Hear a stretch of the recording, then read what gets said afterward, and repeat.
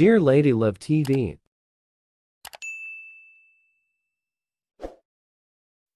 Magandang araw.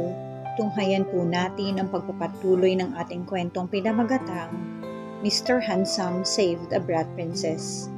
Tunghayan na po natin ang ikalabintatlong bahagi.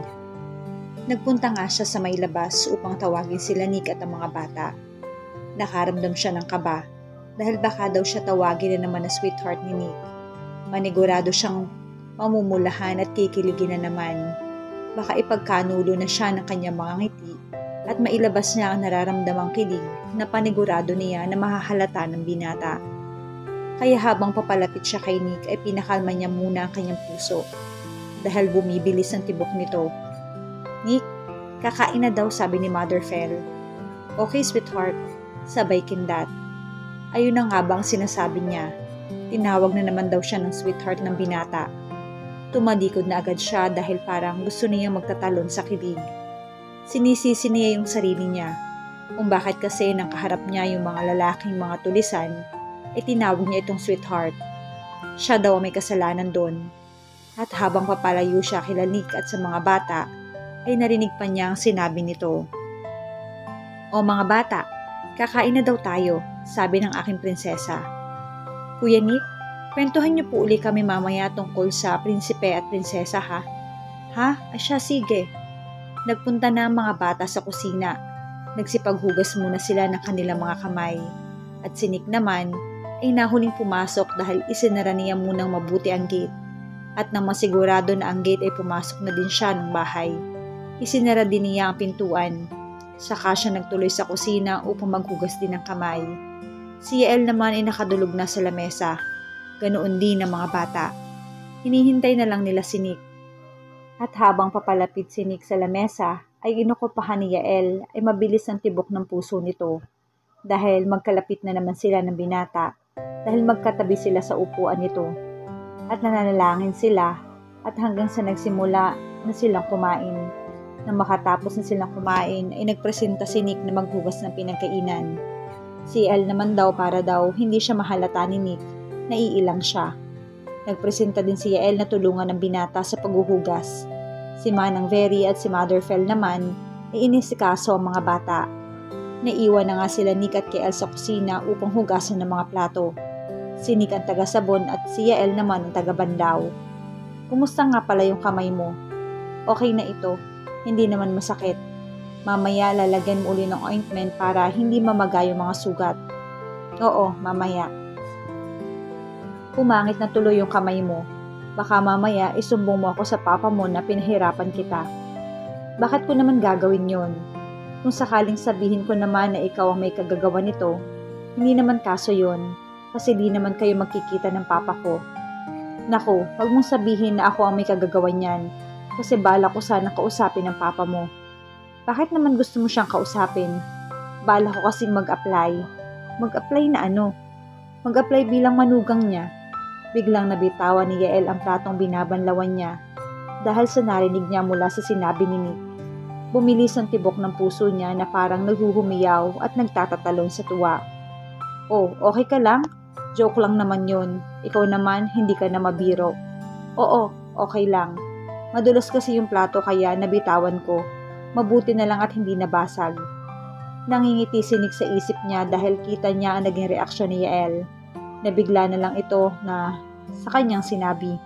Nang matapos na sila maghugas, ay magkatulong pa din sila nagpupunas ng mga plato. Pagkatapos ay umakit na si Yael sa taas. Si Nick naman ay naiwan pa dahil nagsara pa siya ng mga pintuan. Si Yael ay kumuha ng sipilyo at nagpunta sa banyo upang magsipilyo. Makatapos ay lumabas din siya at nakita niya nakatulong ko sa may pasilyo si Jerry. Jerry, bakit mag-isa ka dyan? Hindi kumibo ang bata at mukhang malungkot na naman ito. Hindi rin man lang tinapunan ng pansin ng dalaga. Ang duda nito ay mukhang nakakaiyak naman ulit si Jerry. At baka naalala naman niya ang nanay nito. Gusto mo kwentuhan tayo, Jerry? Napatingin si Jerry kay Yael na mukhang gusto ni Jerry ang alok nito. Kakwentehan niyo po ako? Oo, gusto mo? Opo ate, gusto ko po. Sige, tara doon tayo sa kwarto. Sumama si Jerry kay Yael sa kwarto nila Nick. At na makapasok sila roon ay naupo ang bata sa isang kama na naroroon. Ate, saan po kayo natutulog na kama? Doon sa may dulo malapit sa pinto. Si Kuya Nick sa natutulog. Diyan sa kamang pinag-uupuan mo. Hindi po kayo tabi. Hindi ah, magkahiwalay kami ng tulugan. Di po ba mag-asawa ay magkatabi sa pagtulog? Nasa mid si Yael sa sinabi ng bata. Oo, pero hindi naman kami mag-asawa ni Kuya Nick mo. Magkaibigan lang kami. Ah, ganoon ba? Akala ko po mag-asawa na po kayo ni Kuya. Hindi. Naupo din si Yael sa tabi ng bata. Alam mo ba, Jerry? Parehas tayo na wala din ng mama ko. Iniwan na din niya ako. Talaga po, ate? Oo. Hindi po ba kayo umiyak? Umiyak din, syempre, nalungkot ako. Bakit po namatay yung mama nyo? Kasi nga, nagkasakit siya. Ganoon din daw yung nanay ko. Nalulungkot po kasi kami, namimiss ko na po siya. Nakakalungkot talaga. Ako din nun, sobrang nalulungkot. Kaya nga, iyak ako ng iyak nun. Kahit nga nitong malaki na ako, hindi pa din nagbabago. Pero mali pala yun. Hindi pala dapat makulong sa kalungkutan ng isang tao na iniwan na ng mahal sa buhay. Dapat pala, gawin na lang natin iyong inspirasyon. Dapat isipin natin na kahit wala na yung mga nanay natin, iisipin natin na nandyan lang sila sa tabi natin at binabantayan at ginagabayan tayo. Nakikinig lang si Jerry sa mga sinasabi ng dalaga. Mukhang nauunawaan naman nito ang ibig sabihin at hindi alam ni Yael ay naroon na pala si Nick at nakikinig din sa usapan nila. Mukhang seryoso yung pinag-uusapan yung dalawa ah. Hindi naman masyado. Pwede ba kung sumali sa usapan nyo? Pwede daw ba siyang sumali, Jerry? Oo naman, Kuya Nick. Naupo din sila sa tabi ni Nick. Kaya nga, Jerry, tatandaan mo yung mga sinasabi sa'yo ni ate mo. Dahil ikabubuti mo yon. Opo, Kuya. Bawasan mo na yung pagiging malungkutin mo. Huwag ka na din laging umiiyak. Susubukan ko pong hindi malungkot at hindi umiyak. Iniisip ko po kasi kung magkakaroon din po kaya ako ng aampon sa akin na ituturing po akong tunay nilang anak. Magkakaroon ka din, hintayin mo lang, huwag kang mainip. Gusto ko po kasing maranasan uli na magkaroon ng nanay, tatay at yung mga makakatabi ko sa pagtulog at may magtatapik at maghehele sa akin. Kaya po sa darating uling birthday ko, hihilingin ko po uli na magkaroon ako ng bagong magulang. Basta, pray ka lang Jerry. Dadating at dadating din yung araw na magkakaroon ka uli ng bagong magulang. Tama, mararanasan mo din uli na magkaroon ng nanay at tatay. Alam mo po Kuya Nick, ang gusto kong maging tatay ay yung katulad mo po na mabait. At saka po yung katulad din ni Ate Yael ang gusto kong maging nanay. Kasi ang bait niyo po at saka maganda pa po kayo. Ang saya po siguro kapag nangyari na yung mga pangarap ko. Kaso mukhang matagal pang mangyayari yon. Lumungkot na naman ang mukha ng bata. Oh, ayan, malungkot ka na naman. Hintay ka lang, Jerry. Dadating din tayo sa araw na magkakaroon ka uli ng mga magulang. Matagal pa sila nag-usap na tatlo. Humanga si Yael at Nick kay Jerry dahil parang matanda na itong mag-isip. Pero nakaramdam din sila ng awa para sa bata. Lalo na si Yael dahil sa pareha sila ni Jerry na ulila sa magulang na babae. Ang pinagkaiba nga lang nila ay hindi siya pinabayaan ng papa niya. Pero ang tatay ni Jerry ay pinabayaan siya. Ate Yael, Kuya Nick, pwede po bang makitabi po muna sa inyo? Oo naman. Talaga po? Oo, di ba Ate Yael? Di ba magkatabi na tayo? Opo, pero gusto ko pong matulog sa tabi nyo. Sa tabi po ni Kuya Nick. Ha, eh, sige na Ate Yael, pagbigyan na natin si Jerry. Paano naman tayo magkakasya sa kama eh pang single lang naman to? Wala namang problema dyan, di pagdikitin natin yung kama. Sige, Yehey! Tuwang-tuwa naman si Jerry nang pumayag si Yael na pagdikitin ng mga kama. Ang problema ni Yael ay medyo maliit sa kanilang tatlong dalawang kama. Hindi naman nila pwedeng idikit pa ang ibang kama dahil hindi na ito kasukat ng dalawa pa. May kataasan ng ibang kama, hindi kapantay ng kamang pinagdikit nila. Kaya dalawa lang talaga ang mahihigaan nila. Kinuha ni Yael ang una na ginagamit niya at inilagay na siya sa kama na pinagtutulungan nilang tatlo hanggang sa nakapwesto na nga ng higa si Jerry sa gitna ng kama. Si Nick naman ay nagtungo muna sa banyo upang magsipilyo. Si Yael ay pumesto na din sa kama ng higa. Ate Yael, salamat po ha, kasi po pumayag ka na tumabi ako sa inyo. Pakiramdam ko po parang katabi ko na din ng nanay ko. Nakaramdam na naman ng awa si Yael para kay Jerry. Dahil talagang sabik ito sa magulang na babae. Kaya sa isip niya na talagang maswerte siya dahil kahit wala na yung mga mama niya, ay meron pa din siyang papa na nagmamahal sa kanya. Ginagampanan ng papa niya ang papel ng mama niya. At hindi nagtagal ay pumasok na sinig sa kwarto. Nakatapos na itong magsipilyo. Aba, ready na silang matulog. Hindi pa po kami matutulog. Oo nga, hinihintay ka kasi namin. Bakit nyo naman ako hinihintay? Kasi po, kuya, magpapakwento kami sa'yo ng story. Ah, ganoon ba? Wala na akong alam na kwento eh. E di yung tungkol po sa prinsipe at prinsesa. Naku, naku, naku, huwag na yun, iba na lang. Sige na po, kahit po ano. Tumabi din sinik sa dalawa, nakapagitna si Jerry sa mga ito. Ano kaya yung ikwikwento ko? Parang wala akong maisip ah. Patulong naman ate Yael. Natuwa naman si Yael dahil hindi siya tinawag na sweetheart ni Nick. Pinagpapasalamat niya itong pagtawag ni Nick sa kanya ng ate. Hindi siya naiilang dito at hindi siya nahiya. Kaya ang puso niya ngayon ay kumikilos ng normal. Sige, ako na lang ang magkukwento. At inumpisahan ni Yael ang magkwento. Hanggang sa nakatapos na siyang magkwento ay hindi pa din nakatutulog si Jerry.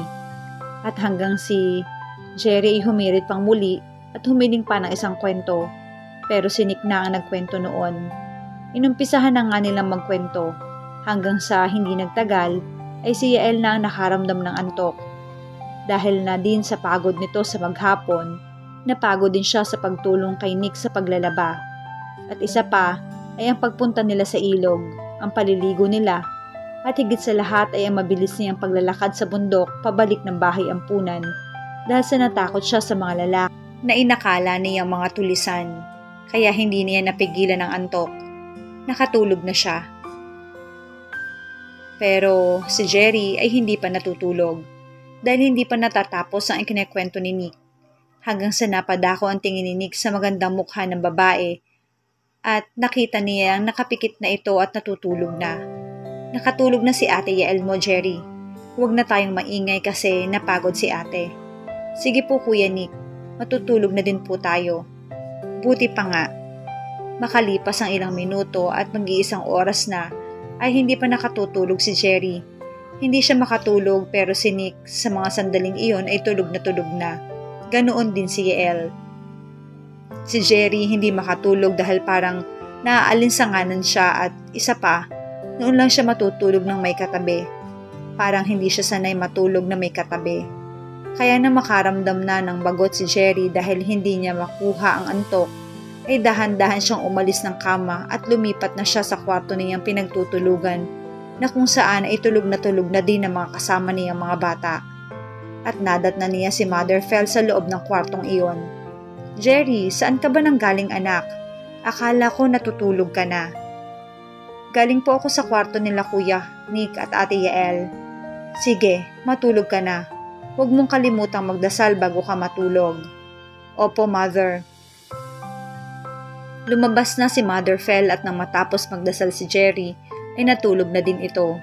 Samantalang si Yael at Nick ay napasarap ang tulog dahil na din sa pagod nila sa nagdaang maghapon.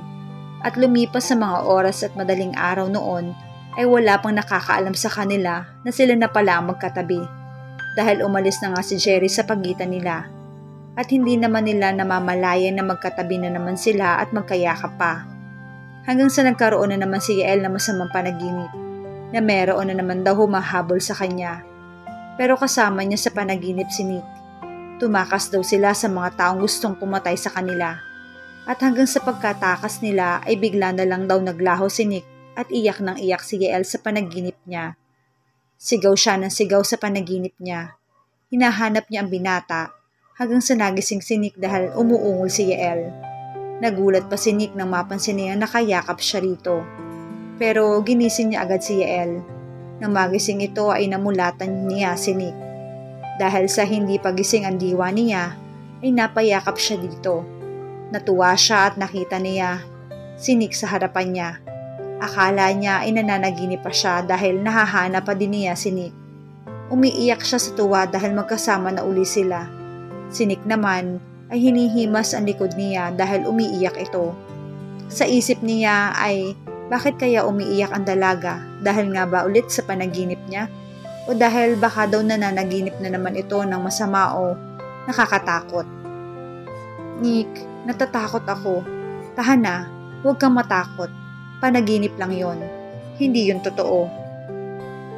Pagkasabi ni Nick na nananaginip lang siya, ay nagising na ang diwa niya. Napabalikwa siya nang napag-alaman niya na nakayaka pala siya dito. Kinapani ang pisngi niya sa puno ng luha at naalala niya ang panaginip niya. Hanggang ngayon ay nakararamdam pa siya ng takot kaya umupo siya at sumandal sa headboard ng kama. Pinagpatuloy niya ang pag-iyak dahil bakit daw nakakapanaginip siya ng masasama. Ano daw ba kaya ang ibig sabihin ng panaginip niyang iyon? Sinik naman ay nag-aalala para sa kanya dahil umiiyak pa ito Naupo din ang binata sa tabi nito at sumandal sa may headboard. Tahan na, huwag ka nang umiyak. Masama kasi yung naging panaginip ko. Nakakatakot. Panaginip lang yon at saka wala kang dapat ikatakot basta kasama mo ako. Walang makakapanakit sa'yo. Lalong umiyak si Yael sa sinabi nito. Tahan na. Hinabig ni Nick si Yael at niyakap siya nito dahil sa pag-aalala sa dalaga hindi niya alam kung paano niya patatahanin ang dalaga sa pag-iyak. Tinatanong niya sa sarili kung masama ba siyang sinabi at lalong humagulhol sa pag-iyak ito. Kaya wala siyang maisip gawin kundi yakapin ang dalagang ito. Hindi naman niya inaasahan na tutugunin niya Ellen sa karap ng yakap nito. Ikinasaya ng puso ni Nick ang pagganti ng yakap niya. Umiiyak siya dahil sa maligayang maligayang puso niya dahil sa mga sinabi ni Nick. Luha ng kaligayahan ang dumadaloy sa pisngi niya. Dahil sa nawala ang lahat ng takot niya, dahil nandyan na ang binata sa tabi niya. Nandyan si Nick na nagpapahalaga at mag-iingat sa kanya. Kahit anumang kapahamakan dumating sa buhay niya, ay nariyan lang ang binata para sa kanya. Kaya naman, sa isip ni Nick ay hindi galit ang nararamdaman nito para sa kanya. Walang ikinagagalit si Yael sa mga nasabi niya dahil ayon sila ngayon at magkayakap. Hanggang sa natapos na ang pag-iyak ng dalaga, payapa na din ang kalooban niya. Kumalas na siya sa pagkakayakap kay Nick. Nick, salamat ha. Sa kapasensya ka na at naabala kita sa pagtulog mo. Ano ka ba? Wala yon. Sige, mahiga ka na uli para makatulog ka na. At sinunod naman siya sa sinabi nito. Nahiga na uli siya pero hindi na siya lumipat ng higaan. Parang ayaw niyang malayo para sa binata. Parang gusto niya na nasa malapit lang sa kanya si Nick. Natuwa naman si Nick dahil sinunod ni Yael ang sinabi niya. Natuwa din siya dahil hindi na lumipat ng higaan nito. Bagkos natili siya sa kanyang pwesto. Nang makahiga na si Yael ay kinumutan naman ni Nick ito. Nahiga na din siya sa tabi ni Yael pero Pinag-iingatan ni Nick na hindi madikit sa dalaga dahil ayaw naman daw isipin ni Yael na sinasamantala niya ang pagkakataon. At hanggang sa nakatulog na nga uli si Yael at ganoon din naman ang binata. Makalipas ang ilang oras, maagang nagising ang dalawa dahil ngayon na ang alis nila sa bahay ampunan. Na makapag-almusal sila ay gumayak na din sila kaagad dahil dadaan pa daw sila kay namang Armand Ayaw naman ni Nick na pumunta doon para daw hindi na mahirapan sa paglalakad si Yael. Pero hindi naman pumayag si Yael dahil gusto niya muling makita ang mag-ama dahil sa sasabihin niya sa mag-ama ang alok niya na magtrabaho si Mang Arman sa papa niya. At ganun daw ay hindi na mahirapan si Isa kapag nag-aaral na ito. Kaya pumayag na din si Nick na pumunta ulit sila ni Yael doon sa bahay nila Isa. Tama nga kaya ang desisyon ni Yael na magbalik sa bahay ni na Isa, gayong inaabangan siya ng kapahamakan sa lugar na iyon. Yan ang ating pakaabangan sa sunod na bahagi ng ating kwento. Magkita-kita tayo muli bukas sa ganito ring oras. Shout out sa lahat nating masugid na taga-subaybay. Maraming maraming salamat po sa patuloy na pagsama sa amin sa kwentong ito. Hanggang sa muli, mag-ingat po tayong lahat.